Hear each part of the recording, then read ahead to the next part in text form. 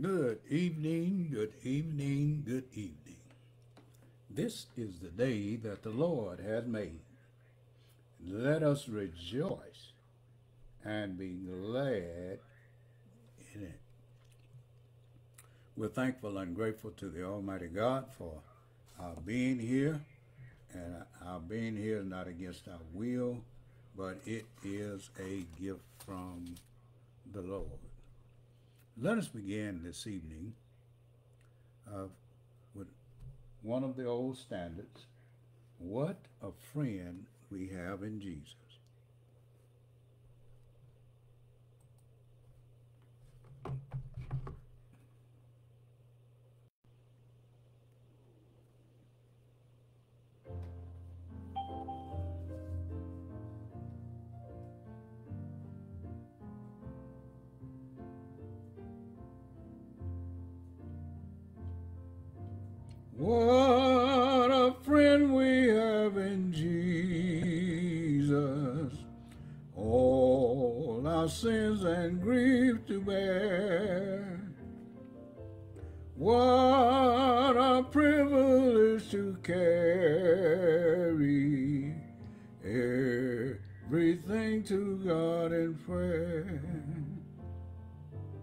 Oh, what peace we often forfeit.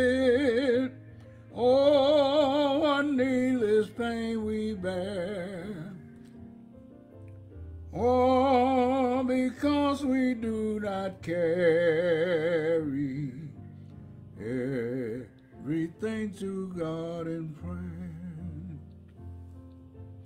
Have we trials and temptation? Is there trouble anywhere? We should never be discouraged. Take it to the Lord in prayer. Can we find a friend so faithful who will all our sorrows share? Jesus knows our every weakness. Take it to the Lord in prayer. We weak and heavy laden, but with the load of care. Precious Savior, still our refuge. Take it to the Lord in prayer. Do thy friends despise, forsake thee? Take it to the Lord in prayer. In his arms he'll take and shield thee. Thou wilt find a solace there.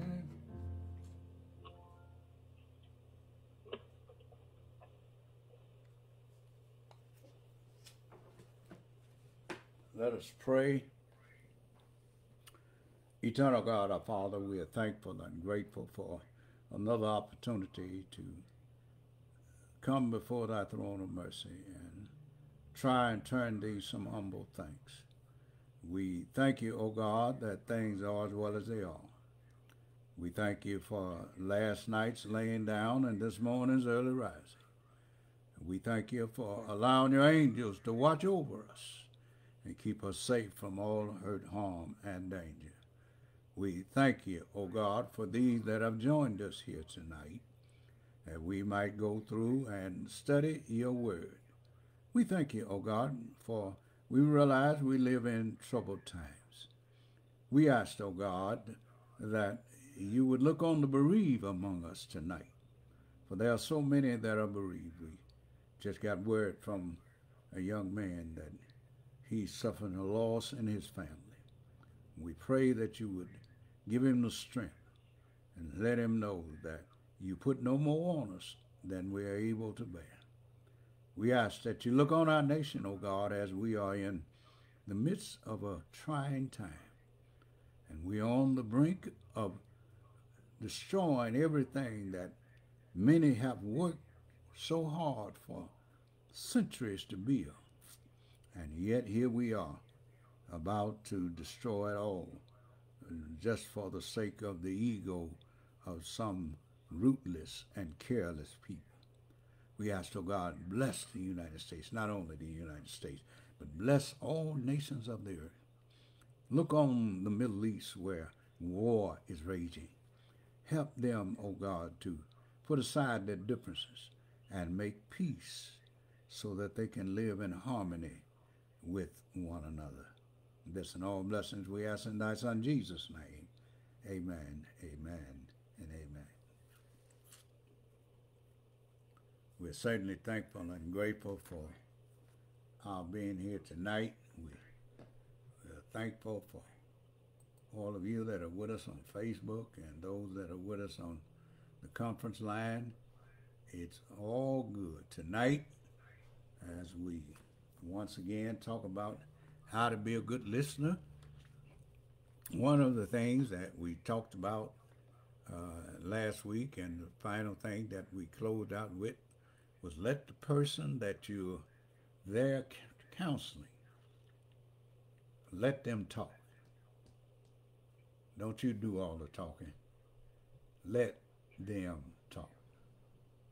Sometimes uh, I think we forget uh, one of the major things that we need to be able to do as a counselor or a comforter is we need to be good listeners.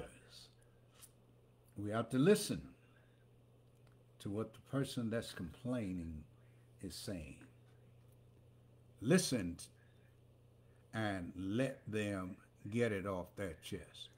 Now, tonight, we're going to take up uh, this. And, well, we told you on last week that there were seven requirements to being a good listener. Number one is let the person talk.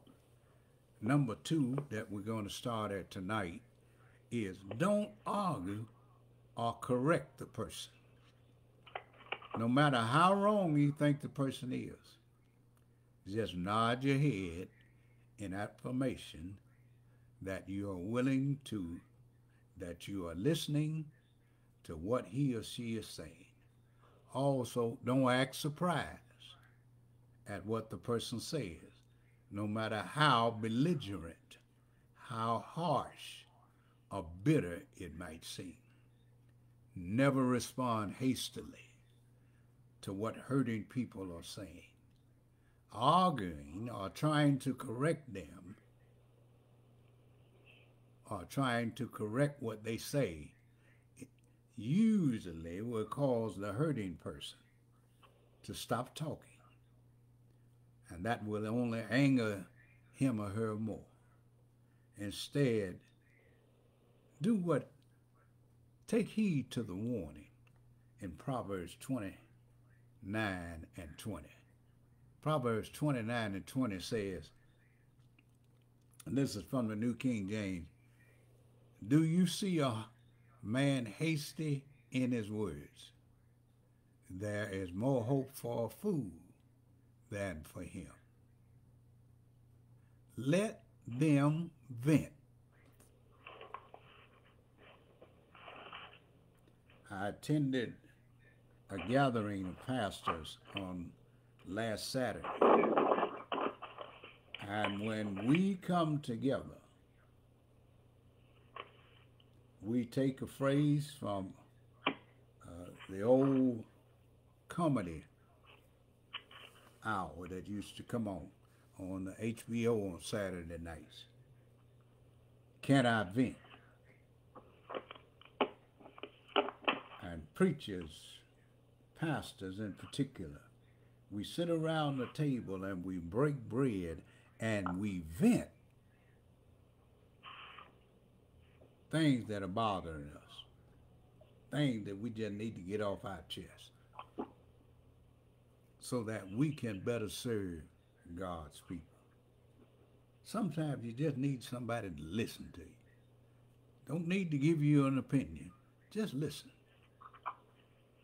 More than anything else, hurting people need to vent their hurt, their frustrations, and their anger. They need to get out, get it off their chest. Let them talk. Don't try to correct their grammar. Don't try to tell them you misspoke. Just listen. Let them vent.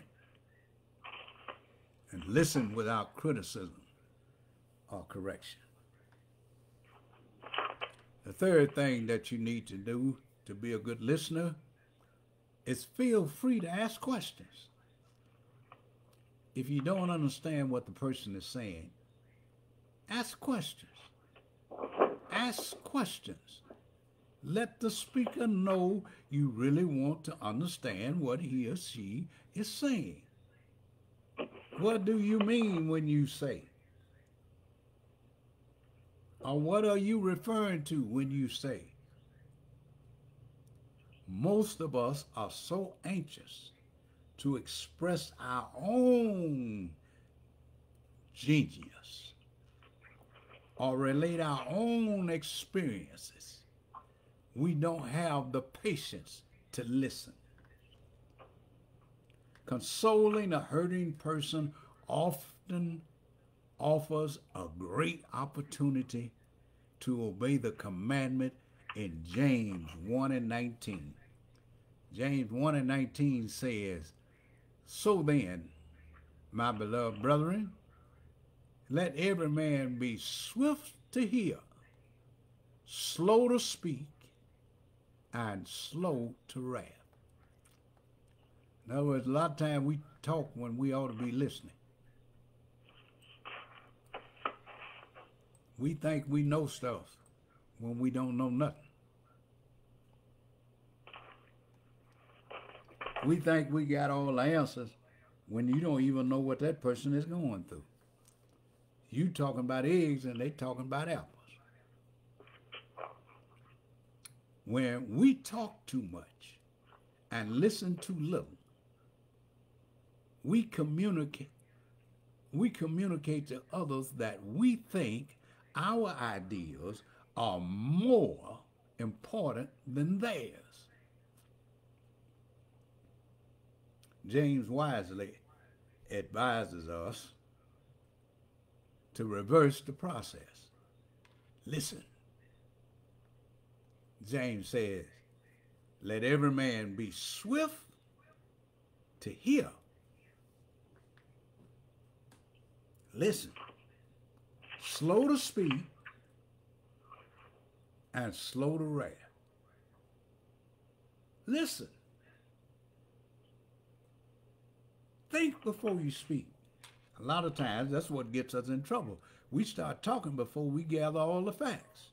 Instead of us listening to what the person is saying, our brain finishes their sentences so that we can start formulating an answer before we've actually heard the statement. And when you finish, and when they finish the statement and you heard all of what they said, if you are slow to speak, you might find out that what you had in mind was completely off base.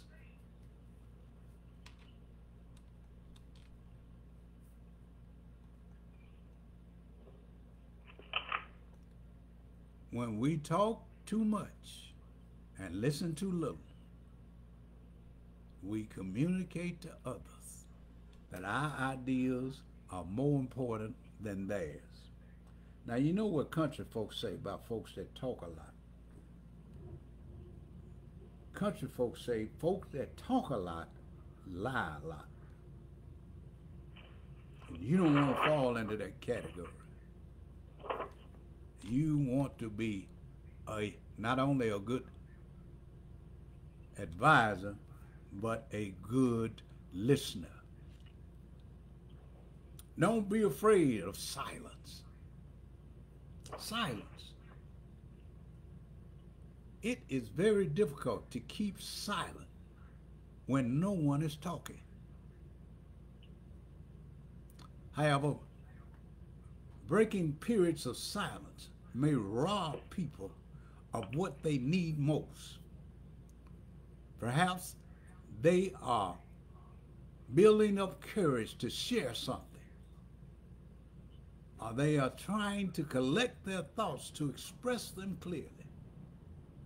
Every hurting person needs some quiet moments to think. I need to think before I say what I'm going to say because I don't want it to come out wrong.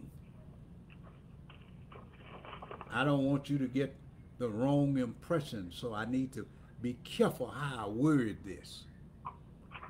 And there are times when I don't care how careful you are, you still end up putting your foot in your mouth. But silence is golden.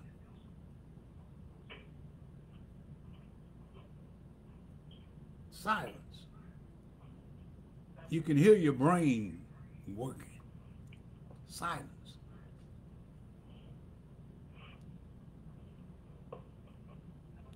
If the hurting person begins to weep, give him or her a reassuring touch. Hurting people need some kind of reassuring, a loving touch. During his time here, Jesus often saw the need to touch a hurting person.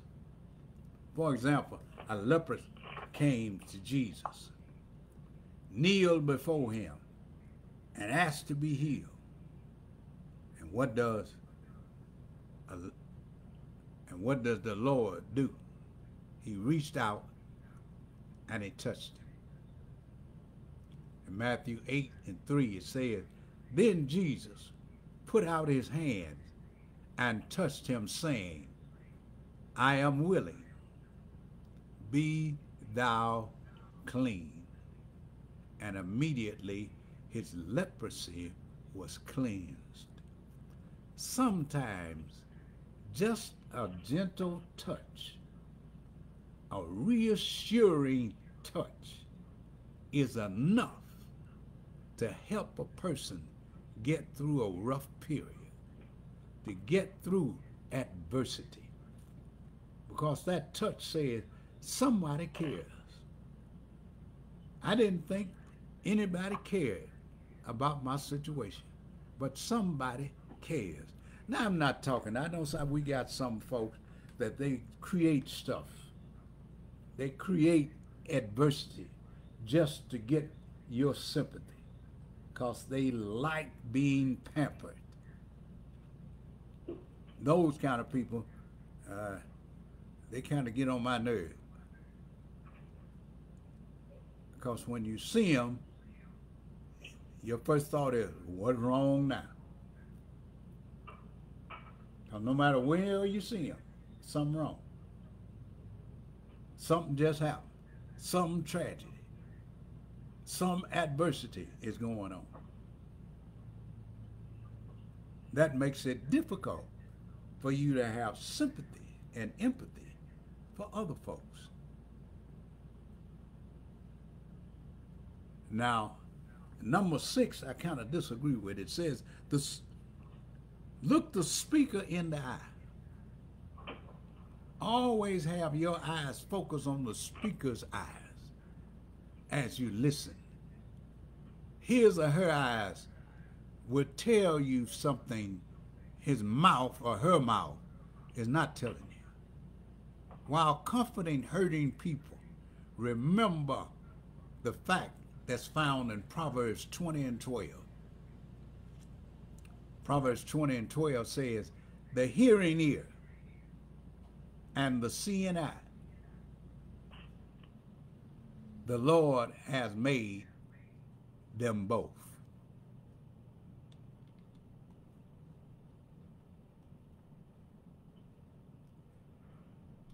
Every good we possess comes from God and we should neither use our eyes nor our ears nor anything we possess, but in the strict subservitude to the will of God. Everything you have belong to God. And you ought to use everything you have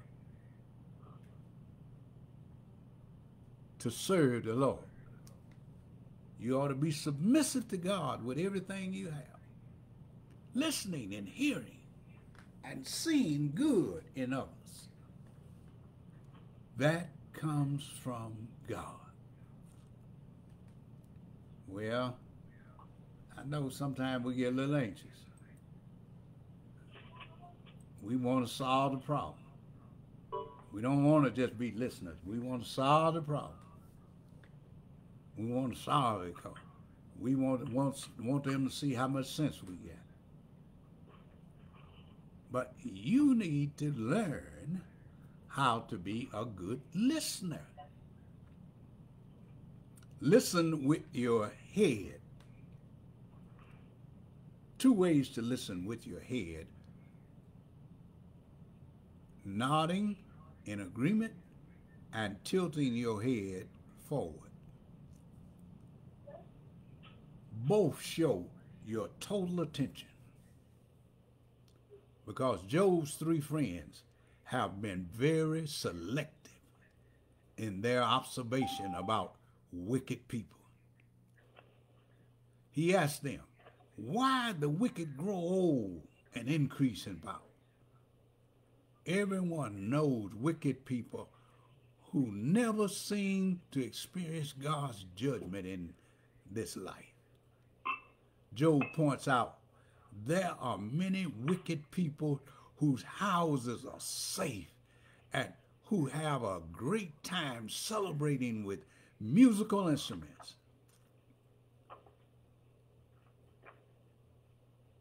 Lies say they live their lives in wealth and then go to their graves. They say, uh, they say to God, depart from us and have no desire to know his ways. Job 21, verse 7 through 16. Job says, they think they are prosperous in their own doing, but he does not accept the way, that way of thinking.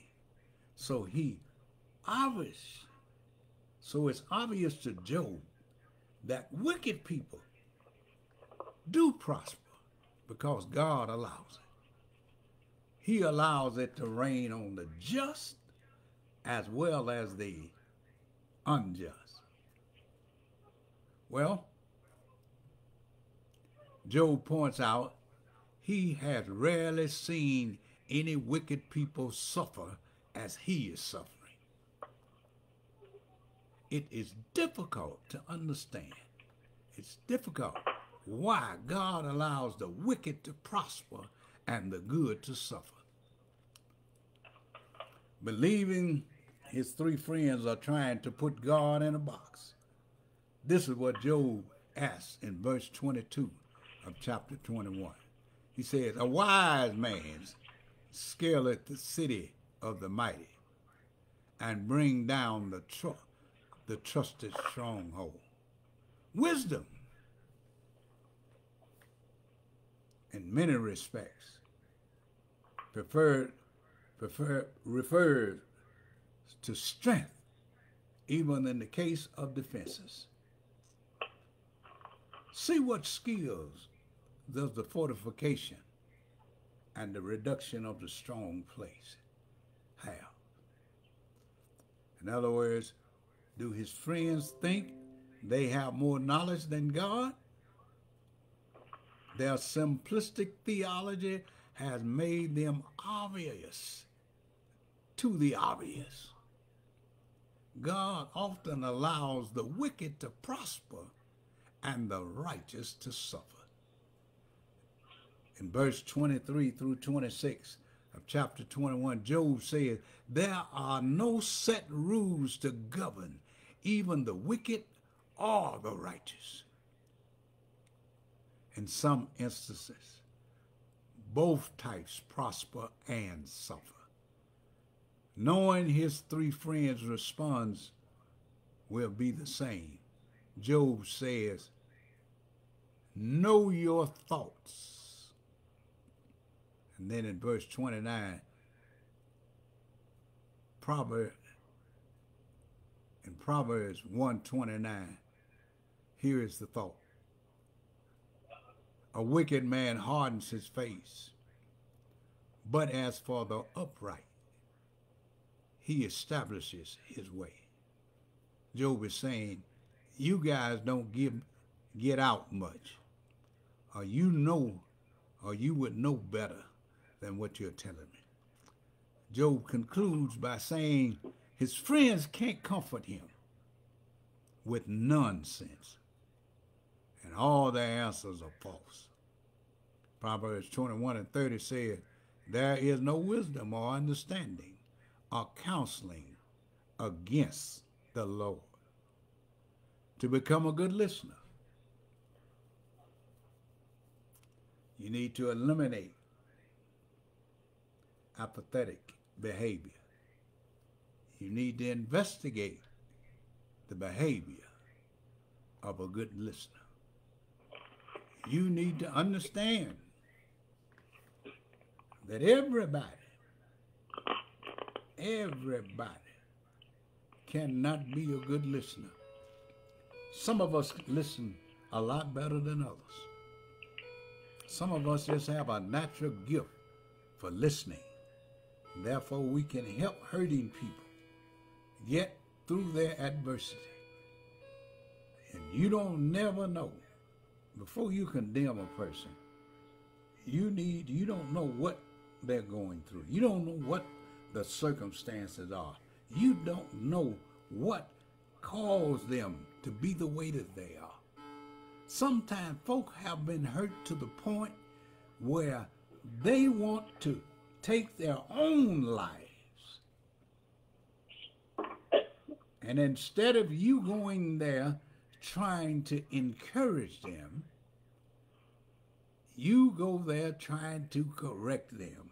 They're already feeling bad about it, about themselves, and you trying to correct them just makes them feel that much worse.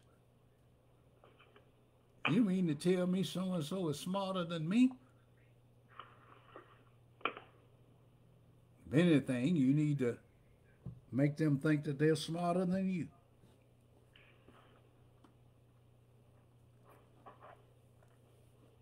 Ask that you,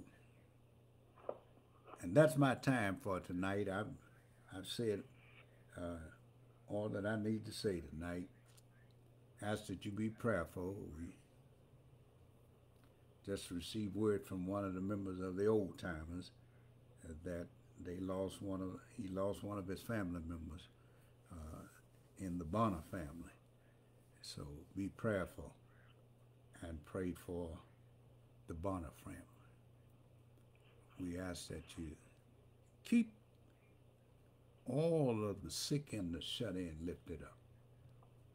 Keep them lifted up. We got so much sickness, so many folks sick now.